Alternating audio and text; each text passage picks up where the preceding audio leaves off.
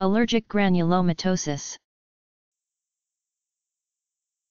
Allergic granulomatosis, a disease, also often called the Churg-Strauss syndrome, characterized by inflammation of the blood vessels in persons with a history of asthma or allergy. The symptoms of the Churg-Strauss syndrome include fatigue, weight loss, inflammation of the nasal passages, symptoms of asthma, numbness, and weakness. The ultimate test for the diagnosis of Churg-Strauss syndrome is a biopsy of involved tissue.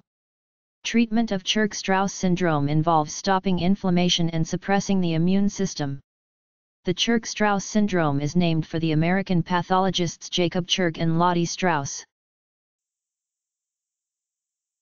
A L L E R G I C G R A N U L O M A T O S I S. Allergic granulomatosis